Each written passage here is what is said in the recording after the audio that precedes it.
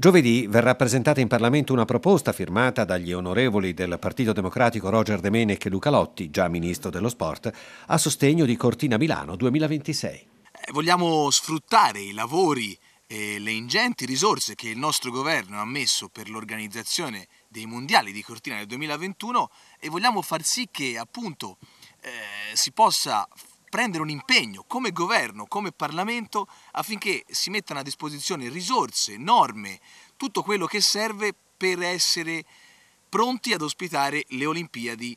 eh, invernali a Milano e a Cortina, Cortina soprattutto per i lavori che abbiamo portato in questi anni. Che termini pensate eh, si dovrebbe intervenire? La proposta è, in realtà eh, una proposta positiva che offre al governo la disponibilità del Partito Democratico, ma non solo, di tutte quelle forze che hanno voglia, senza colore di partito, di bandiera, senza essere di parte, che hanno voglia di dare una mano a Cortina, alla montagna, all'Italia, a far sì che questo importantissimo evento sia organizzato in Italia e sia fatto da noi, sia gestito da quelle persone che hanno portato avanti la candidatura per i mondiali nel 2021 a Cortina e ci sono riuscite e il Parlamento si deve esprimere in maniera secondo me e secondo noi, secondo eh, l'onorevole De Menec e il sottoscritto, in maniera unitaria a sostegno della candidatura per l'Italia.